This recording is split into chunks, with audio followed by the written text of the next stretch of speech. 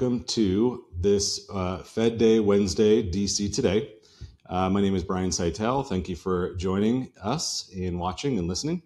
We have, uh, or I have, a, a, pretty decent amount of, uh, of, of, kind of, of, Fed talk to go through. We had sort of a, um, a cooler than expected CPI number yesterday, and then what ended up being technically an inline Fed comment today that the market perceived as more hawkish because it was hoping for it to be dovish. But also to unpack that primarily today, it's a lot of Fed talk, and, and I'll talk about stocks and bonds and, and kind of how it all correlates together. Um, we were yesterday up seven over 700 at one point, um, as we discussed, and ended up closing just over 100 and some odd points on the day. Uh, kind of gave a lot of that back. It was volatile, and it was around this sort of inflation number that came out that was a little softer than expected. It was up 0.1% on the month to a 7.1% year over year. So, so a little cooler, which was, which was good. But you had sort of this big market reaction on the upside right away. And then you had it all come back and go negative, And then you sort of closed right at the end slightly or a little positive, which was fine. Um, today it was almost similar. You had um, the same type of reaction. Another big macro event. I, I would say it's the last um, macro event for 2022, at least in the U.S. We've kind of we're now into holiday season here and, and should quiet down a little bit, at least on the economic side. But uh, yesterday was CPI, which is inflation. Today we had our Federal Reserve uh, come out with their policy statement um, and uh, and and uh, and raise rates by 50 basis points, and I'll get into that. Uh, futures last night were were pretty quiet. I mean, we we were flat. We were up 100 points or so on the on the night, and then we kind of opened around flat. The market itself this morning, pre-announcement, pre-Fed announcement, um, was trading pretty positively. You know, we were up probably 280 points or so uh, mid-morning Eastern, and so we had a nice little up day, and a lot of that was just sort of the same thing. It's people uh, or, or, or, institutions or, or basically short-term driven um, financial actors kind of getting ahead of some big news, try to try to predict it, you know, and try to get it right and when you have a policy decision that's set by people, which can say anything and, and change one way or the other, it's pretty hard to predict. So you kind of had markets uh, run up 280 points. Then you had Fed announcement, which was uh, 2 p.m. Eastern. Um, and then you had this initial big sell off in markets. We went from up 280 to something like down 400. Um, same same reaction as yesterday. Big you know initial reaction on the front end, then you get the sell off or, or the other reaction, and then you get normalcy kind of cooler heads prevailing as the data is actually understood and, and realized. And so, to that end, let's go through the data. Um, so let's see. We we took or the Fed took rates up 50 basis points. This was all but completely priced into the market. That wasn't new.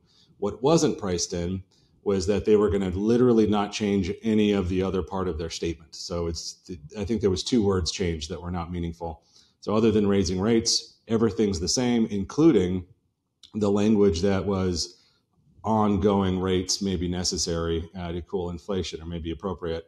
And the market was hoping that verbiage would come out. You know, now that we've got a couple of months of softer inflation data, maybe they would say, okay, you know, this is it. You know, you know, you know, Merry Christmas, and and we'll talk to you next year. But but that's not what they're saying. They're sticking to the same tune. Um, that said, we can look at what the bond market did, uh, and I can tell you what the market is thinking about it. And then we can also look at what they did for guidance, which I think is is is telling. Um, they continued their quantitative tightening. It's $95 uh, a month to try to reduce their balance sheet. That's that's what the path that they've been on. Um, but what they did for forward guidance is take down um, GDP expectation. They took actually, I take it back. They took up GDP expectation for 2022. So they basically said instead of 0.2 percent for this year, wow, we're gonna we're gonna think you know we estimated it'll be 0.5 percent. Um, so not recession. They think that we'll get positive GDP in 2022. For 2023, they basically lowered uh, GDP forecast from 1.2% to 0.5%. So basically, they're saying 2022 and 2023, from an economic GDP perspective, are going to be um, going to be exactly the same. Um, in the same in the same token, they moved unemployment uh, rate um, from 4.4 to 4.6 next year. So let's think about that. So they took GDP for this year up, they took GDP for next year down, and they took G- in unemployment for next year up. So if you think about it, it's kind of their soft landing is what they're estimating, which which is which is what I I I, I wouldn't be surprised if that did happen. Um, I'd be surprised if it was exactly those precise numbers, but um, it doesn't fully shock me that the Fed would say we're going to get it right. You know, I I, uh, I, I don't know what else they would really say in a statement. I don't think they would guide that they're going to get it wrong or something like that. The um, the bond market, same initial reaction as stocks. You basically had the bond market, uh, the two year yield uh, dramatically rose. Um, uh, in fact, I have a chart of it in the body of of DC today. You had sort of a, a big sell off in yields, a big rally in bonds yesterday. So prices went up and two year yields went down dramatically yesterday. And then you had some normalization before the end. And then today it was sort of the exact opposite. You had more hawkish tone from the Fed or perceived that way. And so you had yields, uh, rates basically shoot up initially um, dramatically and then end up selling back down essentially unchanged on the day. So, so what does that all mean? Um, the Fed is painting a soft landing. That's one. Um, two, the, the, the interest rate paradigm, the yield curve, has shifted lower since yesterday and today. So what that says is basically, uh, all things being equal, um, inflation is cooling because the inflation expectations, which is what yields are, that's what interest rates are, represent, are are still lower today after a more uh, hawkish uh, Federal Reserve, uh, deemed hawkish at least. Um, you had expectations for Fed funds um, coming in a little bit higher. Um, so for 2023, yesterday it was assumed that we'd hit about a terminal Fed funds rate of something like 4.9% by June. Um, this this year, uh, or as of today, sorry, we're now looking at something like 5.1, 5.2. So yeah, a little higher, but not off to the races. I think the Fed is signaling that what they're doing is is working. They're getting inflation coming back, and and you could and we have made this argument that the reason inflation is coming down is part because the Fed is is is making an effort to bring it down. It's raising rates. It's it's draining liquidity from the market. All those things do tend to slow growth, and I get that but it's also just that supply chains are now easing, and so there's more normalcy. There isn't a, a bottleneck as much as there once was, and so inflation is is coming down. Uh, and so the the terminal rate going from something like 4.9 to 5 point for me is a bit of a of a non-event. It doesn't.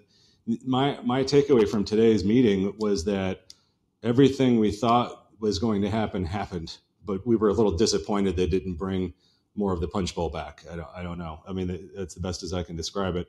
Um, so I, I, view today as just in line. I think the market selling off 400 and then rallying back to close down about 140 is actually a positive sign. We're still up on the week, and we're still up a fair amount from where we were at the lows when inflation was was not kind of turning a corner. So I'll take all of those things. Um, let's see. We had the um, well, I guess in in, uh, in some other top news, I mean, I, I can point to um, outside of what the Fed did, uh, did, today, which is really the main news for the day. Um, we still have this sort of ongoing uh, bankruptcy proceeding and indictment of uh, of, of, uh, of, FTX's CEO and founder um, ongoing through Congress, and that these hearings are basically um, going to find out and, and discover whether there was fraud involved and all those things. And and you know, it isn't something that we had a part in at all uh, uh, as far as any sort of opinion necessarily or any sort of certainly any exposure. Um, obviously, I don't want to see anyone lose money, but at the end of the day, and frankly, I don't know if I, I really love overregulation either. But but aside from that, I think I think some regulation is probably needed, at least in financial markets. So that's probably where this thing is going to go, at least in the cryptocurrency um, space. And uh, and I can answer questions if, if anybody has any to to reach out to me directly on that. Um, just as you would expect, I guess this would be some public policy. Um, rates have gone up, so the debt service for this country has gone up too. We've spent about $100 billion over the past two months um, on interest expense, um, which is up about 80% from a year ago. So there's, there's that. Um, all these things are kind of correlated and tied together. Uh, what that speaks to is, is more deficits here in, in, uh, in the coming years as rates kind of stay high. Um, all that said, you know, we have about 10% of, of tax revenues going to debt expense. And I suspect that'll probably, hard to say exactly, but I suspect that 10% may go to 15 or even 20 before we're kind of on the other end of this uh, rate rate cycle. Um, we had both. Um, well, I'll say this: the um, the well, one thing that we did see, although I, I, don't know that there's there's a lot of change in this market, um, but with rates coming down, it, um, technically mortgage rates are down um, here over the course of about two months. Uh, not quite one percent, but pretty close, at least on a 30-year mortgage. So we closed today at about 628 on a 30-year mortgage, thereabout. Um, and there were some reports out that maybe that kind of helps the housing market from the pretty pretty dismal or deflationary month over month numbers. Um, I don't know that if you have mortgage rates, you know, three percentage points higher than a 20 year treasury or a 30 year treasury, um, you know, that, that it's really going to spur more buying or transactions. I think you're going to need mortgage rates to be kind of sub 4% uh, until you kind of get the, the maybe the reinvigoration of, of that market, which is deflating, which frankly it probably should. It was is pretty, pretty, pretty expensive, pretty overvalued. Um, you know, keeping this to the point on the Fed, I, am going to kind of wrap up here. I I, um, I want to have um, uh, on deck tomorrow. We have um, some economic data that's coming out. Um, both the Bank of England and the ECB will have their policy updates. So the same thing that our Fed did today, they'll come out with their policy tomorrow. There's some China activity um, that uh, that we can kind of kind of read through as they either reopen or don't reopen and have COVID policy, zero COVID or don't. Um, and then we have some retail sales and jobs numbers in the U.S. So tomorrow is a pretty hefty lineup. Uh, I know David will be back on uh, DC today with you tomorrow to kind of go through all that. Um, and then we'll, of course, have Dividend Cafe in your inboxes on Friday. Um, so that's what I've got for you today as a quick update. Please reach out with any questions. Um, I always love to hear from you. Send me an email, give me a call. Uh, if I don't speak to you for some reason, Merry Christmas, Happy Holidays, and we'll be back with you soon on DC Today. Thank you.